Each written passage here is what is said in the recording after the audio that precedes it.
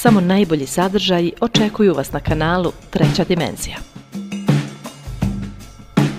Danas 10.9. računajući po lokalnom vremenu očekuje nas pun mjesec u ribama. Astrolog Dino Zahir Murić. Ovaj pun mjesec odvija na osi djevica ribe, na kojoj počiva princip oprečnosti, razum i mašta, konkretno i abstraktno, materijalno i duhovno i tako dalje.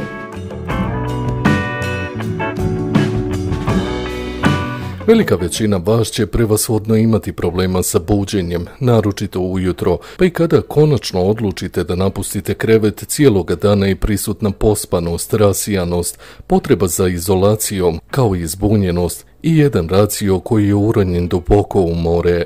Sve može, a ništa ne mora biti. Za dosta vas koji imate naglašen znak djevice i riba, narednih par dana možete imati utisak da su stvari koje duže vrijeme planirate i čime se generalno posljednjih dvije nedjelje bavite, odjednom izgubile smisao i u tom razmišljanju kako ste došli ovdje gdje ste, očekujem da vas i odnese mašta dalje.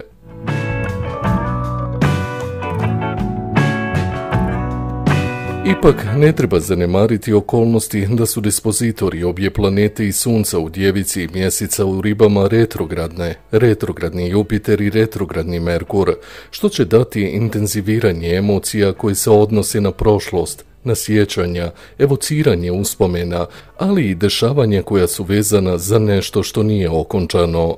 Obratite pažnju u kojim poljima se odvija pun mjesec.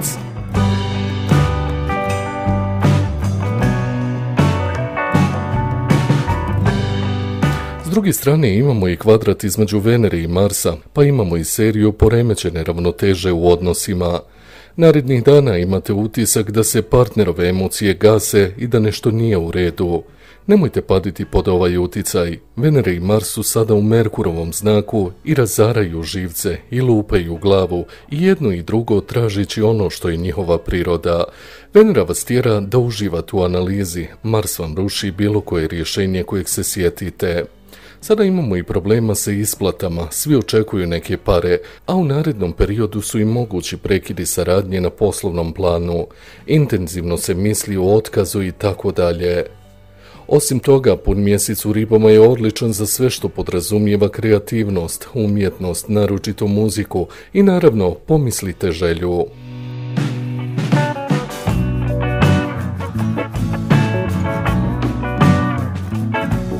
Još par riječi o retrogradnom Merkuru.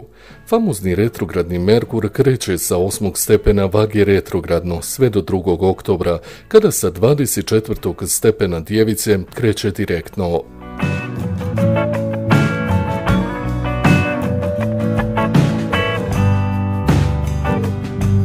Pogledajte polje koje zahvata period između 24. stepena djevice do 8. stepena vage i tu obratite pažnju. Ništa strašno što nam se inače ne dešava.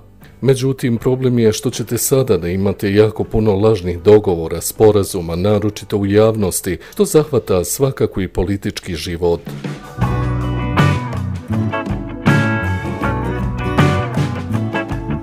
Od te priče da je retrogradni Merkur dobar za introspekciju, bavljenje sobstvenim mislima, nema ništa, jer nije ovo društvo zato. Zato očekujemo kašnjenja, greške u poslu, kvarove, nesporazume i slično.